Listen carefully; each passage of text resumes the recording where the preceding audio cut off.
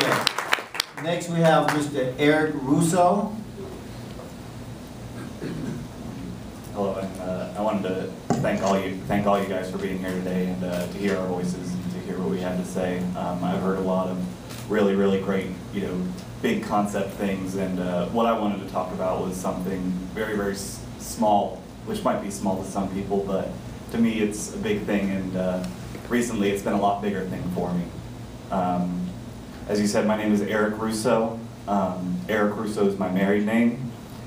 Eric Miner is my bachelor's name, um, for lack of a better masculine equivalent to maiden name.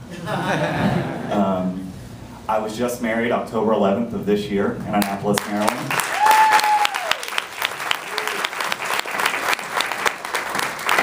That's my partner of uh, three years, Matthew Russo. Um, and I speak here to, advocate that any uh, state domestic partnership or civil union legislation that you guys are considering um, make provisions for legal name changes. Um, you know, before uh, U.S. v. Windsor, uh, I wasn't able to change my name on uh, any legal level without petitioning the court, paying a fee, um, waiting a couple of months to go before the court, having the judge issue issue the name change. Um, and since the Windsor decision, I'm able to uh, get my name changed on a federal level. So um, my social security card now reads Eric Russo. My passport, which I just filed for this weekend, reads Eric Russo.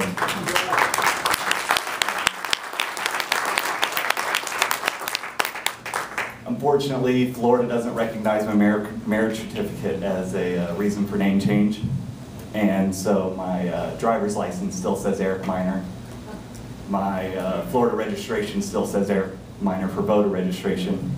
Um, so I'm kind of still living under these two different names. Um, I've read some things about using a passport, and I know it's kind of new. You know, Windsor was just this June, and it's only October, so it's still early, and a lot of things haven't been addressed yet. But um, you know, I understand that, you know, the constitu- a constitutional amendment change or a court order um, changing the constitution, it may not be in the cards right now, but um, I'd like to ask that, you know, any, any uh, legislation that comes before you that talks about uh, domestic partnership or registry also include provisions for name changing as well. Thank you, thank you.